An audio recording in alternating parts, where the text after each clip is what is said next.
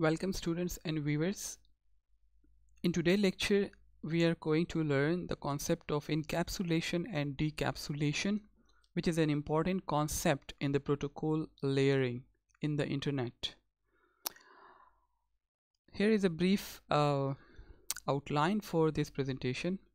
We are going to start with the learning objective and then encapsulation at the source host we will see encapsulation as well as decapsulation at the intermediate node router and finally decapsulation at the destination host. The outcome is that at the end of this short lecture you would be able to understand the concept of encapsulation and decapsulation at the source, at the destination and at the intermediate devices. This figure actually represent a broader view of the process of encapsulation and decapsulation. You can see at the source host we have encapsulation. At the destination hope we have host we have the decapsulation while at the router we do have the both encapsulation and then decapsulation. First let us see encapsulation at the source host. Encapsulation actually happens at the source host. How?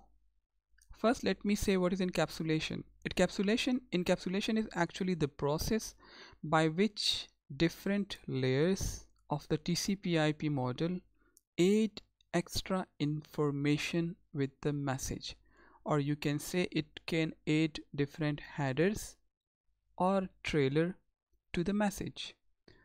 Okay, we will see it in a moment. First, let us consider our message. Remember, we have five layers. The first layer from the top is the application layer, where it provides an interface to the user. So at the application layer, the data to be exchanged is known as message.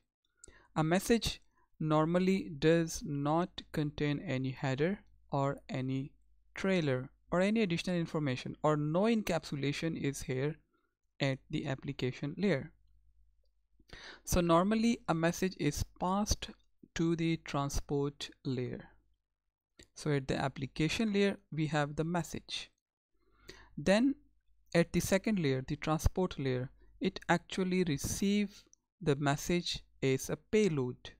The message that the transport layer receive from the application layer is known as the payload. And then what the transport layer do? The transport layer actually add a header to this payload. This header represented by the number 4 it could be like identifiers of the source and destination application program that want to communicate Remember the communication is between different processes and each process has a unique identifier. So what is the identification of the source process and what is the identification of the destination process? That information is added by the transport layer in its header represented by 4 and this process is known as encapsulation. Beside from adding identifier, some extra information is also needed for end-to-end -end delivery of the message, such as, uh, for example, information needed for flow control, for error control, and for congestion control, the basic functionality provided by this transport layer. So it is added in this header. The result in the transport layer packet, remember, that is known as a segment or datagram. At the transport layer, the message is referred to a segment or datagram depending on the protocol that we are using at the transport layer. So this segment and datagram contain the actual message as well as additional information added by the transport layer. And then the transport layer passes the packet to the network layer which is the third layer. The network layer takes the transport layer packet as data or you can say as a payload. Okay now this is the message received from the transport layer along with the header. And then here uh, it actually added its own header and the header of the transport layer is represented by 3 here. So this is actually the header aided by the transport layer or encapsulation happening at the source host so this header will contain the addresses of the source and destination hosts. Remember here the identification was the processes that want to communicate. Here the identification is about the systems that want to communicate.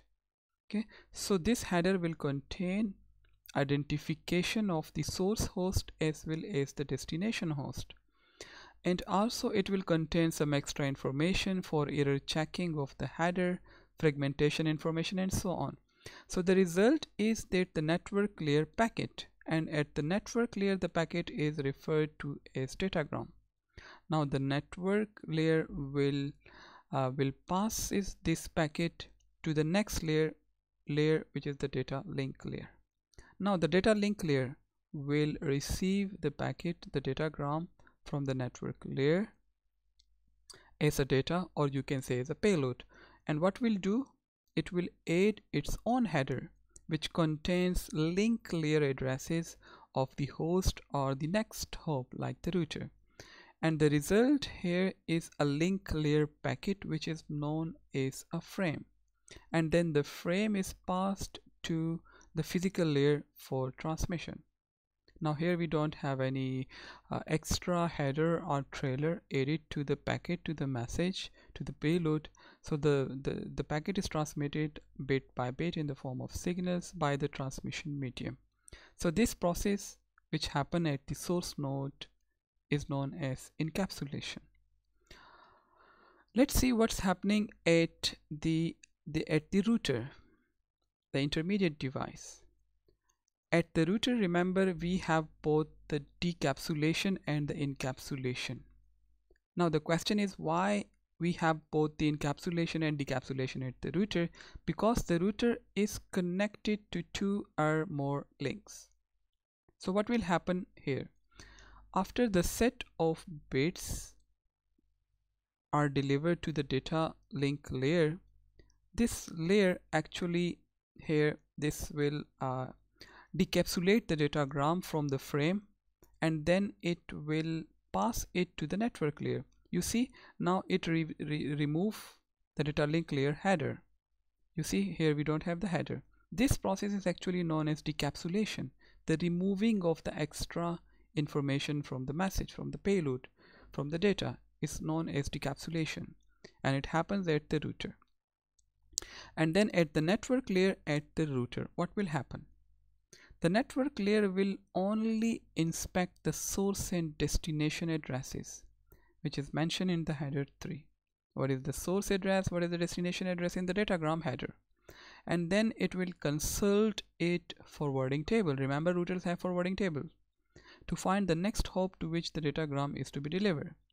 And then the datagram is passed to the data link layer of the next of the next link now the data link layer of the next link will do the encapsulation process again. You see here the data link layer with eight extra information in the form of the header and this process is known as encapsulation. So the data link layer of the next link will encapsulate the datagram in a frame and again it will pass it to the physical layer for transmission.